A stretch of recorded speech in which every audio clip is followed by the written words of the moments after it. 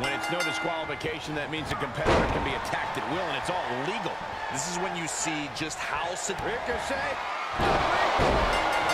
Oh, wow, rendered unconscious. The official has to call it. Here is your winner, Ricochet! And that's it.